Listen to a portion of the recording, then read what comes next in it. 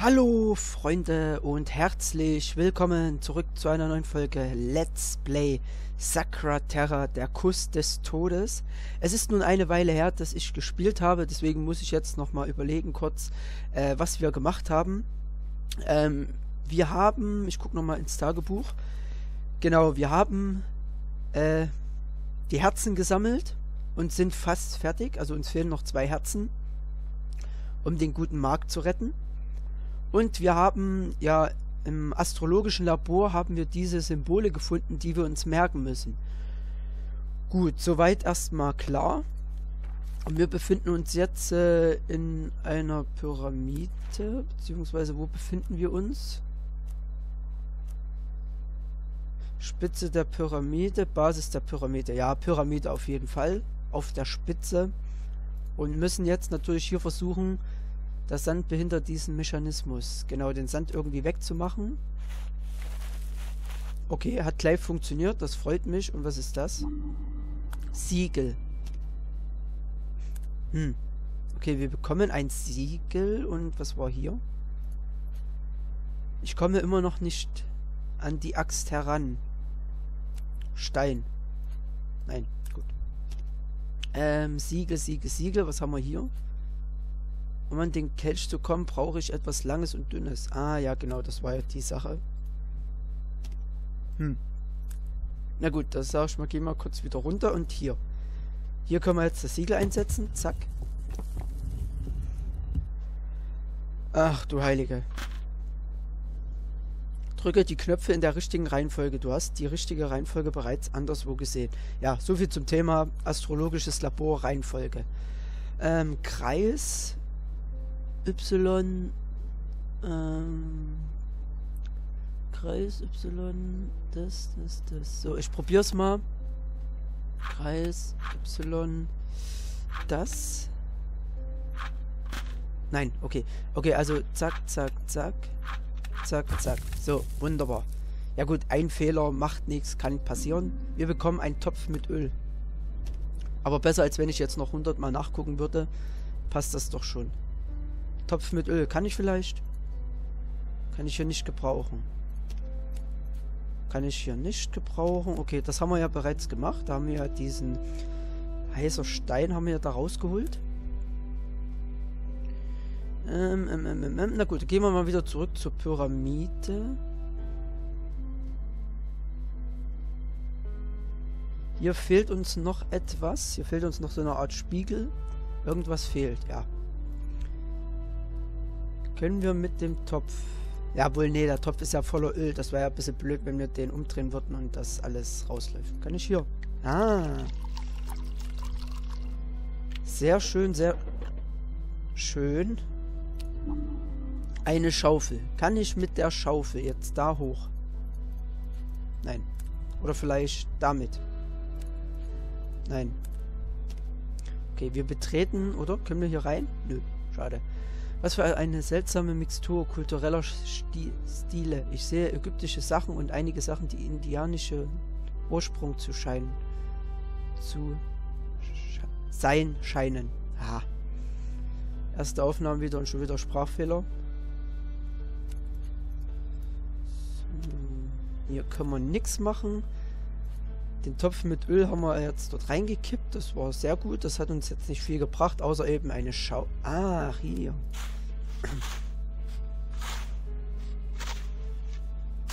Okay, das sieht doch sehr gut aus. Wir bekommen einen Spiegel. Hey ho.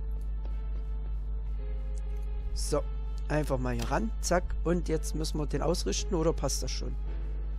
Äh,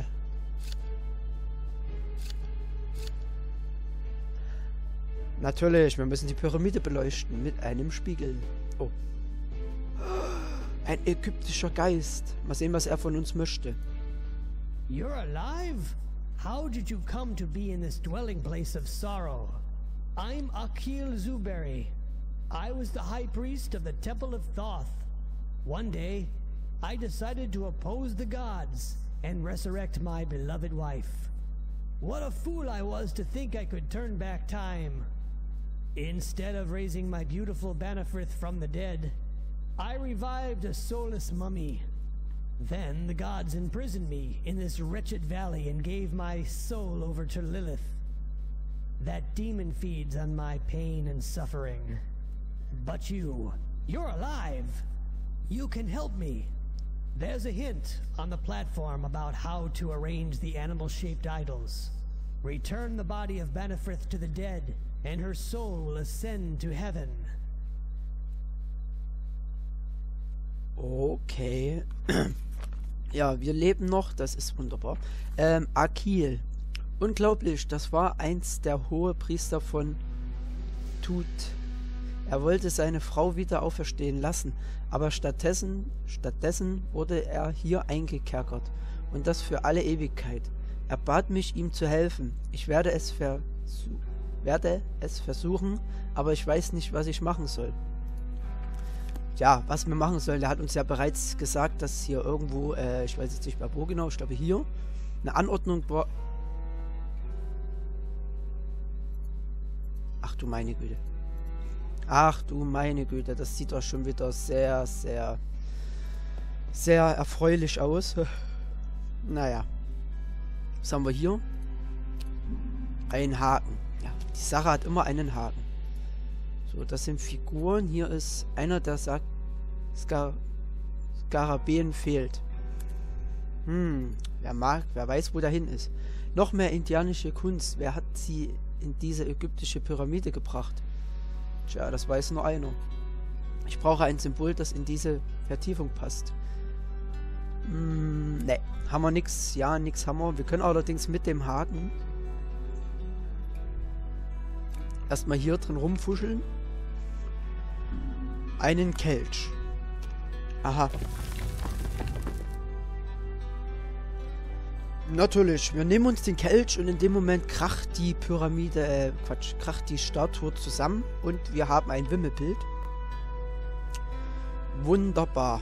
So, Löffel, Band, Schriftrolle, Fuß, Fesseln, Skarabäus, Ananas, Fackel, Kompass. Ja, Skarabäus klingt schon sehr gut. Das ist das Band. Ähm, Löffel. Goldener Löffel. Nehme ich mal an. Das ist die Fackel. Ah, hier. Schöne Schlange. Schöne Schlange. Ein angeknabberter Apfel. Na lecker. Was haben wir hier? Hier haben wir... Was auch immer diesem, in diesem Rahmen war, fehlt jetzt. Okay. Ein Zahn. Ein Skarabäus. Was? Ach so, das Skarabäus war da drin. Wow. Nice. Nice, nice. Löffel, Flöte, Flöte, Flöte? Äh, wo ist meine Flöte? Meine Flöte. Kompass, Ananas. Da ist eine Kokosnuss. Ähm. Ist das? Ist nix. Das ist auch nichts. Das ist auch nichts. Das ist was? Hä? Ist das eine Fußfessel? Ah, okay, jetzt haben wir sie komplett. Sehr schön. So, das ist ein Talisman. Ein heiliger Talisman. Eine Walnuss. Mhm. Oh, ein Schwert. Nice. Nice, nice. So, ein Herz. Ja, soweit haben wir jetzt alles, was man ähm, zusammenbasteln musste, gefunden. Diamant. War der hier mit drinne? Nein. Da oben ist er. Ähm, das ist der Kompass. Das ist die Flöte, Töte. Schriftrolle, Schlüssel, äh, Schüssel, oh Gott. Schüssel, nicht Schlüssel, Schüssel. Nee, nee, nee, du. Eine Ananas, ja, das geht auch noch. Das geht immer gut. Die Schüssel ist hier, Löffel und Schriftrolle. Schriftrolle, sehr schön. Und jetzt noch der Löffel. Komm, gib mir den Löffel. Ich gucke noch mal ganz kurz hier so. Nee. So, hier ist kein Löffel, da ist auch kein Löffel. Das könnte ein verbogener Löffel sein. Hm. Würde ich jetzt meinen, aber nein.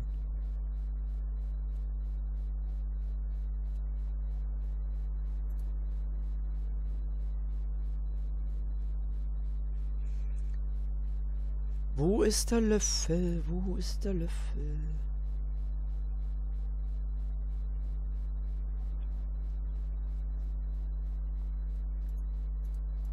Das ist kein Löffel. Also der Löffel ist auf jeden Fall wieder das Objekt, wo wir jetzt wieder sehr lange suchen müssen. So wie ich das jetzt gerade hier mitbekomme.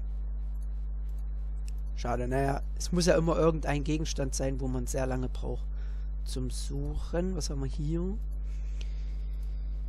Hier haben wir ja nichts. Hier haben wir auch nichts. Da auch nicht. Da auch nicht.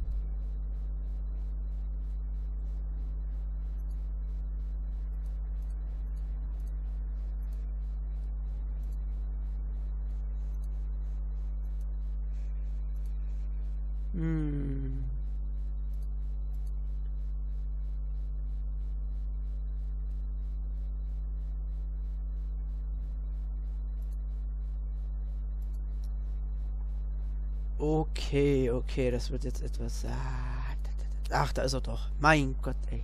Nee, nee, nee, der Löffel echt. Vorsprung. So, wir bekommen eine Fackel Wieso bekommen wir eine Fackel? Ich dachte, wir kriegen jetzt hier den Skarabäus. Naja, es ist immer zu schön, um Wort zu sein. Kann ich denn hier? Nö. Aber vielleicht... Hier? Kann ich hier? Auch nicht.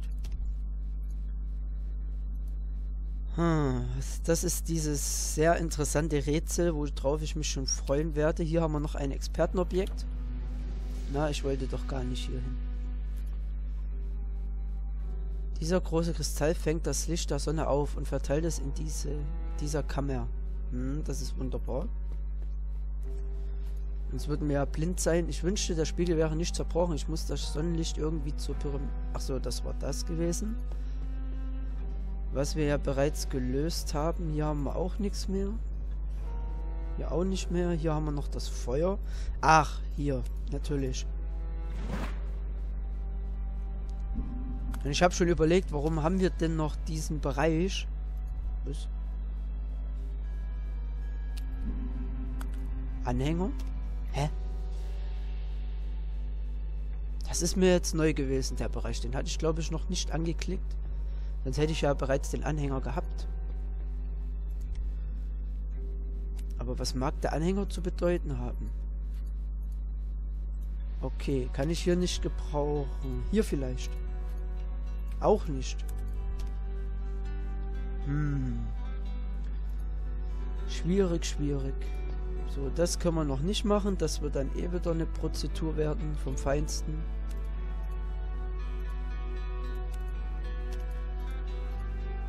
Genau, wir zünden das Holz an, damit wir dort ja nicht mehr hochkommen.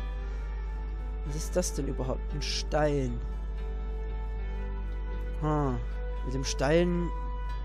Ja, ich kann es probieren. Ich probiere einfach nochmal aus, den Stein hier irgendwo reinzusetzen. Funktioniert nicht. Hier vielleicht. Nein, funktioniert auch nicht. Okay. Sieht zwar nicht annähernd aus wie dieser Mechanismus da, aber was soll's. Man kann es ja probieren. So.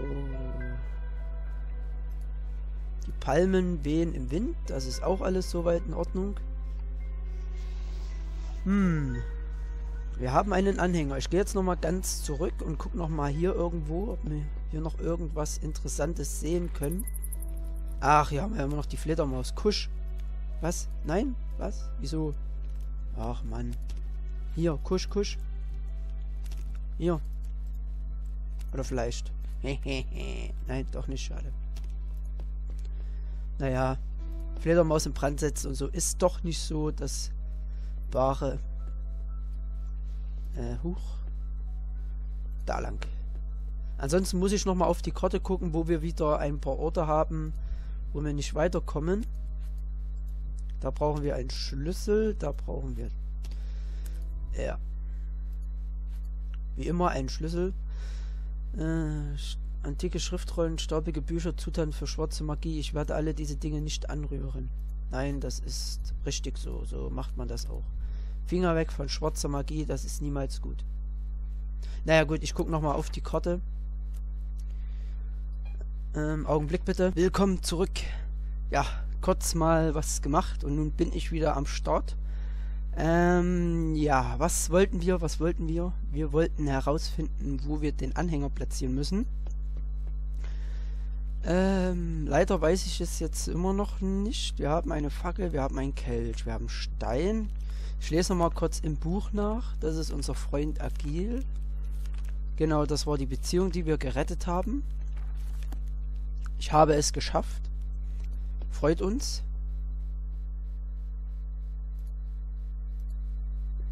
Und nun müssen wir... Ja. Genau, ich wollte auf die Karte gucken. Kellertreppe. Was steht da drauf? Ort mit Aktionen. Okay, also wir haben hier irgendwie was... Ach, ach hier, gucke mal an. Da, zack. Wunderbar. Ähm, drücke die Mauersteine in der richtigen Reihenfolge. Ähm, ja. Das ist super. Das Problem ist nur an der Sache, ich kenne die Reihenfolge ja gar nicht.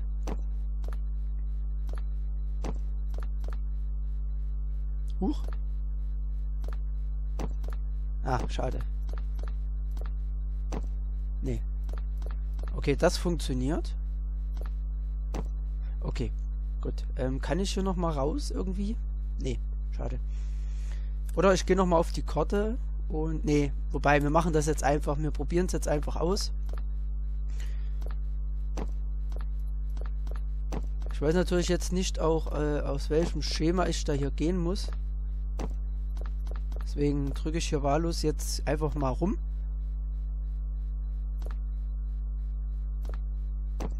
Ach, schade. Zack, zack, zack. Zack. Nee.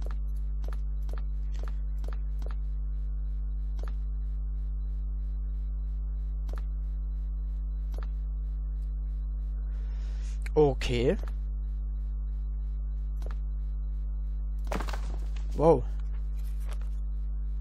Okay, wir haben es geschafft und bekommen eine Laterne. Die alte Laterne. Ich habe an der Wand der Treppe, die zum Keller führt, eine alte Laterne gefunden. Ich habe auch eine Nachricht in einem geheimen Versteck gefunden. Sie besagte, die Lichtquelle der Sterne wird das Böse aus der Dunkelheit vertreiben. Dies ist keine gewöhnliche Laterne. Hö Höhlenforscher benutzen sie, äh, benutzen sie, um Fledermäuse zu vertreiben. Echte Vampire, die Blut saugten. Okay. Ja, das ist doch äh, schön. Da können wir doch jetzt mit der Fledermaus, beziehungsweise können jetzt die Fledermaus zur Seite schieben. Hier, geh weg, Kusch. Ah, uh, flieg weg. Flieg weg. Und wir kommen zum Verschlossen. Dieser Höllenhund sieht finster aus. Wie werde ich diese Ketten los? Verbrenn ihn. Nimm den Kelch. Steck ihm was in den Mund. Hier, ein Ring. Nein. Okay, wir haben die Fledermaus vertrieben, kommen aber allerdings jetzt noch nicht weiter. Also hat uns sehr viel gebracht. Ja. Ich gucke nochmal auf die Karte kurz. Was? Im Treppenhaus Keller gibt es immer noch eine Aktion? Ach, hier eine Notiz. Alte Laterne, die Lichtquelle der Sterne, wird das Böse aus der Dunkelheit vertreiben. Dies ist keine gewöhnliche... Ja, ja, ja, ja. Das wissen wir bereits. Haben wir hier noch... oh Gott. Haben wir hier noch irgendwas versteckt? Weil die Karte zeigt mir an, dass wir fertig sind. Okay, wir brauchten eigentlich bloß noch das Lesen und schon haben wir es geschafft. Ja, gut, da gehen wir mal weiter. oh Mann. So, ähm, ja. Hier müssen wir was machen, wissen wir ja genau. Aber wir wissen noch nicht, wie wir das Amulett einsetzen dürfen. Müssen. Ich würde ja den Kelch da hochbauen. Figuren sind hier reihenfolgenmäßig.